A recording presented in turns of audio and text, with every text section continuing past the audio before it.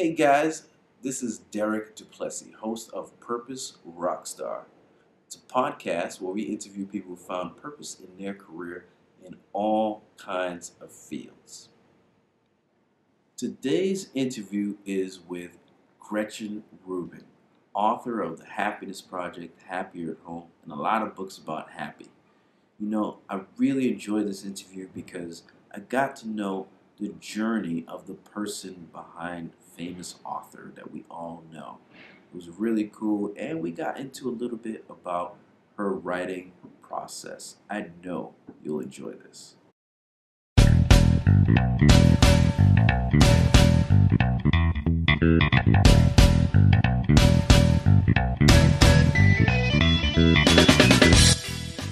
Welcome to the Purpose Rockstar Podcast, inspiring stories of people who found purpose in their careers five days a week.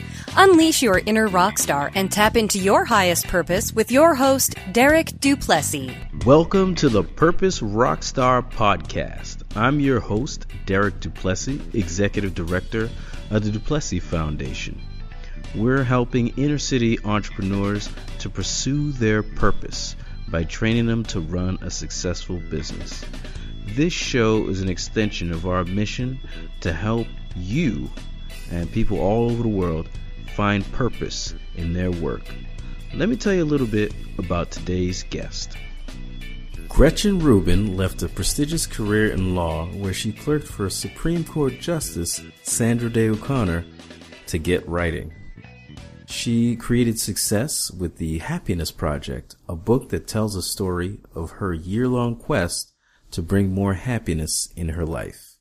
We talk about Gretchen's journey, her writing process, and her upcoming book on habits before and after. Think you'll like it. Enjoy. Purpose Rockstars, let's do this. Gretchen Rubin, are you ready to rock? I am ready to rock. Beautiful. Well, Gretchen, thanks so much for being on the show. I really appreciate you taking some time telling your story. I'm very happy to be here talking to you. Beautiful. Well, we're gonna go- get into your story, uh, the nitty gritty of you know how you became such prolific producer of content and writing and things like that. What you're doing now, what you're excited about, and we're gonna have a nice little lightning round. We ask you qu- uh, quick questions with awesome answers. But before we do any of those things, I'd love to get a success quote. You know, uh, words of wisdom that's really stuck to your ribs. You know, throughout the years. Um, well, I love quotations, and in fact, I have a thing called the Moment of Happiness where people can sign up for a daily quote happiness quotation because I just love quotations and I have a million of them.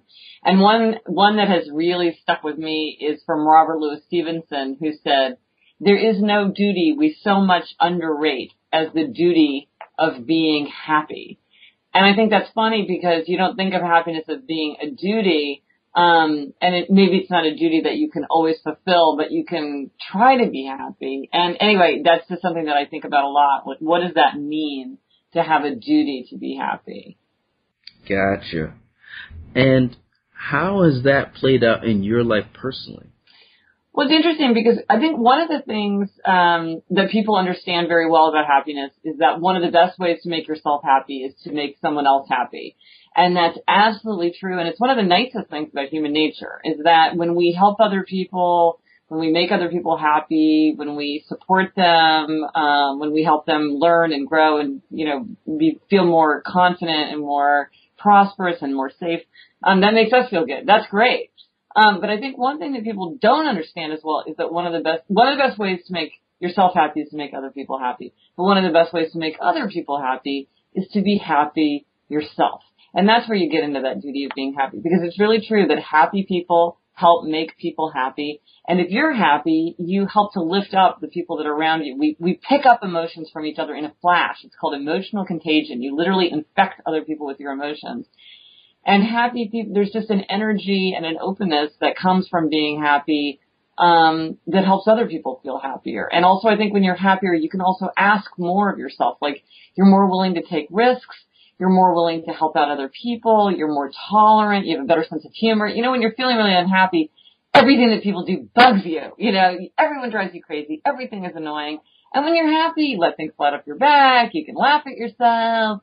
You can see the funny side. Um, and so I think it really is worth taking the time to try to be as happy as we can be, both because we're happier and then, and then it really does help the other people around us. You know, you are, um, a testament to my theory that left-handed people rule the world. yes. You know, the, our president is is left-handed. Bill Clinton also left-handed. My best friend left-handed, and my girlfriend, the love of my life, also left-handed.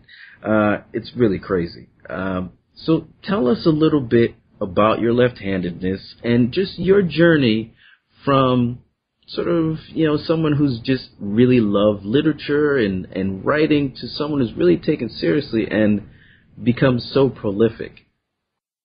Um, well, my left-handedness in a way worked for me because I, they never really taught me to write properly, and so my handwriting is horrible, which led me to spend a lot of time learning how to type very fast. And when you're a professional writer, the fact that you can type very, I'm like a, you know, when they grade you as a typist, I worked as a temp, so I got graded.